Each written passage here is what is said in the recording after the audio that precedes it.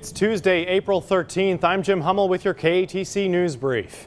LSU police are working with deputies in St. John the Baptist Parish after a body was found in the Mississippi River. It was found in reserve about 50 miles outside Baton Rouge. This comes amid the ongoing search for missing LSU student and Opelousas native Kori Gauthier. The body has not been identified. Distribution of the Johnson & Johnson single-dose COVID-19 vaccine is on hold here in Louisiana and elsewhere. This comes after the CDC and FDA recommended a pause in its use after six cases of a rare and severe type of blood clot. The pause is a setback to the global vaccine campaign. Here in Louisiana, the Department of Health is reporting 442 new cases of COVID-19 and 14 new deaths. Hospitalizations are up by 22. Across Acadiana, there were 119 new cases and three deaths reported. One person is facing charges in Lafayette after a shooting this morning on Park Lane Road. It injured two people. The suspect has been identified as David Kissel. He's facing two counts of attempted first degree murder. At last check, both victims were stable. Lafayette Parish is in the process of updating its hazardous mitigation plan. What it does is update natural disaster preparation, for example, when a hurricane threatens the area or when there's severe flooding. One major issue in Lafayette is flooding.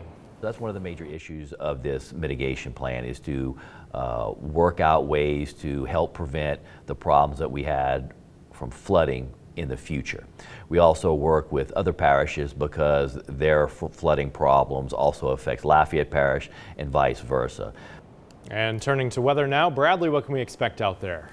Jim, well after torrential downpours across the area today, rainfall totals have been piling up and with additional rain expected over the next couple of days, Weather Service has went ahead and uh, issued a flash flood watch for the entire viewing area. This will uh, go through midday on Thursday again for additional rainfall that's going to be falling on top of what we already saw out there today. So we pick it up with the latest high resolution rapid refresh model. Should catch a break in the action a little bit later on tonight going into uh, the wee hours of our Wednesday morning, but then here comes another round of scattered showers and storms uh, as we head into mid-morning. Wouldn't be surprised if we see activity get going a little bit earlier than what the model is projecting here, but uh, nonetheless, heavy downpours will be a possibility once again throughout the day tomorrow. Also a low-end uh, risk to see severe weather. Maybe some storms capable of producing gusty winds and small hail, so we'll watch out for that. But uh, nonetheless, some uh, locally heavy downpours certainly possible. Hopefully catching a break late tomorrow evening into tomorrow night, but it looks like we're going to see another round of some showers and storms moving through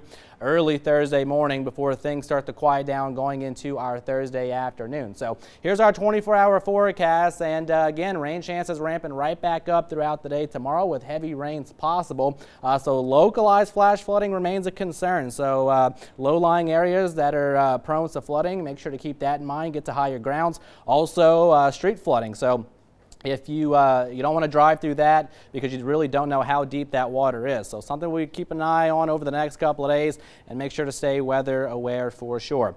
That's going to do it for news and weather for now. For future updates, keep it tuned to TV3 and follow us on our apps.